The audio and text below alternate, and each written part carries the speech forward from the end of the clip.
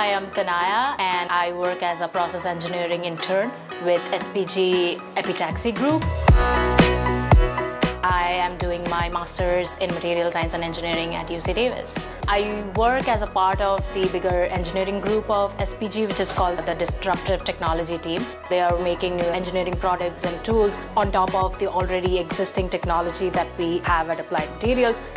I had known applied materials for a long time and this has been one of my dream workplaces for me to get into and give a head start to my career. Applied Materials has grown and made Silicon Valley what we see today. You are at the edge of developing newer technologies and you get to play a larger part in how those innovations and engineering tools come to be. But it's not just about engineering, it also gives you an exposure to the values that are associated with this industry and community, values of being in a more diverse work culture. I have started falling in love with the company and the culture.